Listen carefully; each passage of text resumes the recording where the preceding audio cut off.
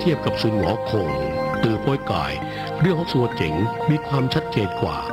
ในบันทึกเขียนไว้ว่า เสียนจางได้พบเทพองค์หนึ่ง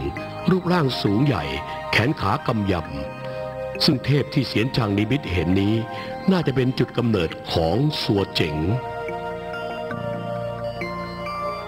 นักวิชาการชาวญี่ปุ่นสันนิษฐานว่า เทพองค์นี้น่าจะเป็นเทพผีสาทวารบาล ในพระคัมภีร์ระบุว่า เทพผีสาทวารบาล คือเทพที่ปกปักดินแดนด้านเหนือ และร่างจำแรงของท่านคือ เทพเสริญสา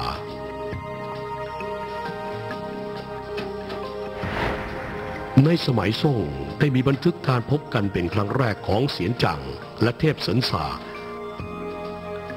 ตอนที่เสียนจังและสิทธิ์กำลังจะข้ามแม่น้ำเทพเสริญสาได้ส่งเสียงโดยที่ยังไม่ปรากฏตัว